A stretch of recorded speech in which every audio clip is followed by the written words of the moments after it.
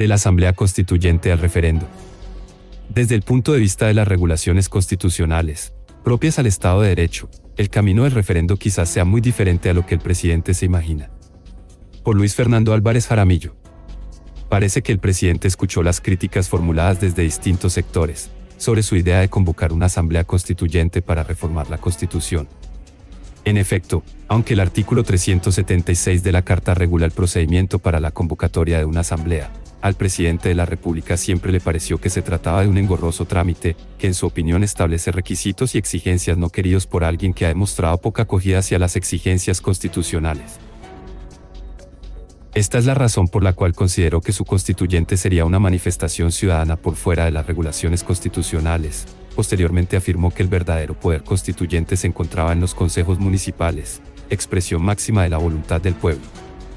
En medio de esta discusión, el presidente ha querido plantear la alternativa de acudir al pueblo a través de un referendo, para que de manera directa se pronuncie sobre las reformas constitucionales y legales que el mandatario pretende imponer.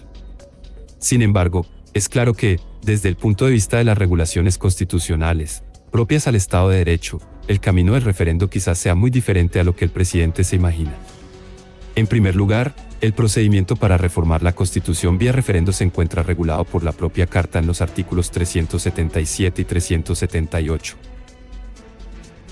El primero, dispone que deberá someterse a referendo toda reforma constitucional aprobada por el Congreso, cuando se refiere a los derechos y sus garantías, a los procedimientos de participación popular o al Congreso, si después de haber sido aprobada por este, dentro de los seis meses siguientes lo solicita un 5% de los ciudadanos que integren el censo electoral.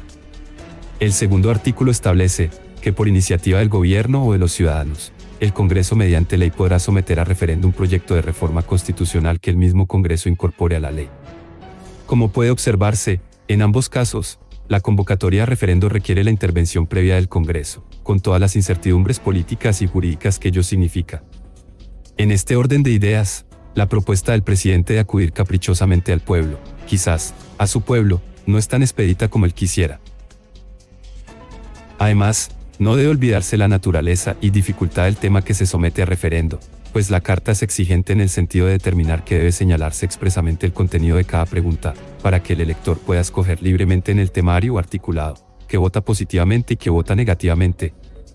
Si lo que se quiere es obtener a través de referendo la aprobación de los proyectos sociales y políticos que el presidente pretende, existe la dificultad de elaborar el número plural de preguntas que sea inteligible para el electorado, en temas tan delicados como la salud, el régimen laboral, las pensiones, no puede olvidarse que, en lugar de abrir espacio a la democracia, un referendo manipulado es la máxima expresión de la negación de la democracia.